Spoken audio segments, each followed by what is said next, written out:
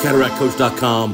White cataract capsulorhexis options. What's your preference? Just do it? Can opener first? Zepto link? You tell me.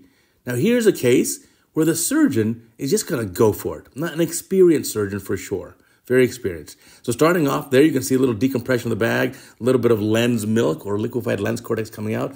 And getting the rhexis going here, it's going to want to run out. Look at that.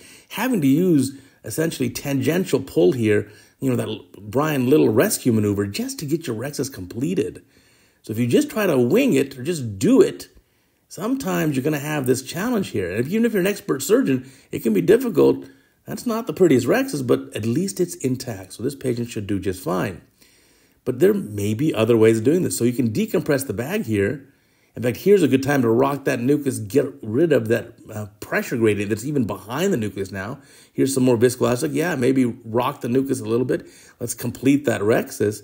But you can, you can see here, just doing it, just winging it, it's a little stressful in these white cataracts. And if you're not an expert surgeon, it could run out pretty easily. So here, grabbing that, and then let's get this thing completed. And ooh, almost. Do it quickly before it runs out. And almost, almost, almost. And you did it. Woof, close. Now here's another one. This surgeon said, hey, the trick is in his hands to do a can opener first. So look at that, poking in with a can opener style. So do a mini can opener first. And by creating mini areas of, you know, run out edges essentially, then you spread the forces all around instead of at one spot. And then you saw there at the center, kind of rocking the nucleus around.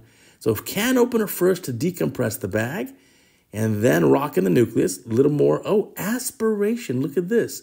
So using the BSS cannula to aspirate out some of this liquefied lens cortex. Look at that. What an interesting idea here.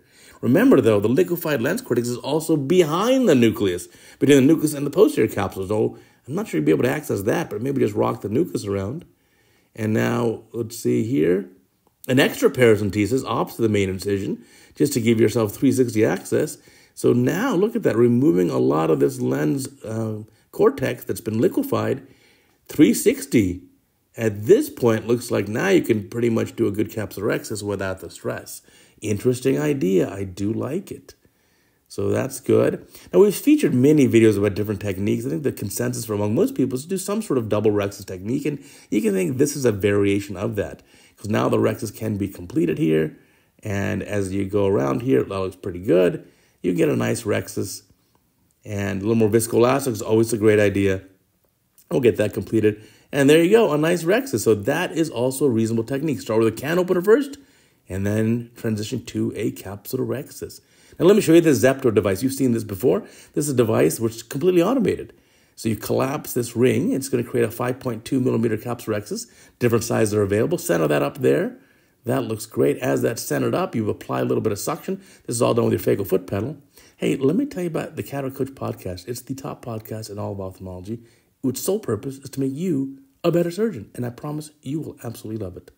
Now let's get back to our case with Zepto, and yes, I'm a consultant for their company. Now, four milliseconds is all it takes to create this opening. So apply suction, there it is, it's done. Because it's so fast, it really doesn't give any time to get any run out, so you won't get any run out there. Now you can see all the liquefied lens cortex, that lens milk is coming up into the anterior chamber. And now there's the capsule, remove that. That's it. It's literally that easy now. And so this device obviously makes it simple. And again, I do consult for the company and it is a useful device, and I use it a lot for these white cataracts. Here at the end of that same case, there's the same case, removing the viscoelastic and set up that lens, and look at that. What a really beautifully centered lens, and good overlap, 360, and a strong edge there. That capsular opening has a very strong edge, and so again, we didn't have any issues here. So you can remove your viscoelastic, finish up the case, but leave a comment below. What is your preference for an intumescent white cataract? What are you doing? I showed you Zepto. I showed you can opener to capsulorhexis. We showed you just go for it and get it done, but be careful because it wants to run out. We've talked about double rhexis technique. We've talked about needle decompression. We've talked about all kinds of techniques and um, tricks here.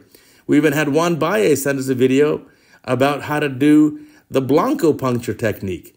Again, all reasonable options. You just got to decide which one are you going to do. And obviously different price points for each of these. And I think as, as a surgeon, it'd be helpful if you're used uh, or have experience with all of them. Having all of them in your toolbox makes it nice when you have a very tough case. You can really pick and choose and do what everything's best. Also, remember if you're a young surgeon, there's so many great resources on cataractcoach.com, the website. If you leave here for a moment, leave YouTube, go to Cataract Coach, get the free PDF book, get the free curriculum series, check out the podcast. You know what I'm saying.